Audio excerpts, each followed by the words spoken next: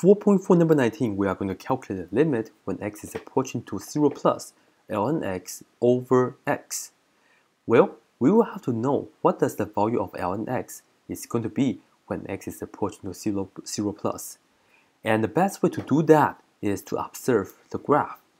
So here is the graph of ln x. It's going to look like this, right? And as you can see, when x is approaching to 0 plus, that means it's 0 from the right hand side, this is technically going straight down. So in other words, on the numerator, you have the ln x is approaching to negative infinity. And then on the bottom, because we know x is approaching to 0 plus, so this is going to be a 0 plus. It's a positive small number. And this is not L'Hopital's rule ready. You cannot use L'Hopital's rule for this. But we can actually make a conclusion already. A big number divided by a small number, it's going to be a big number for sure. Alright? A big number divided by a small number, I know has to be a big number.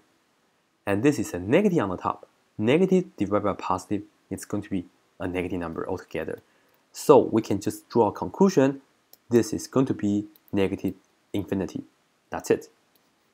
Done.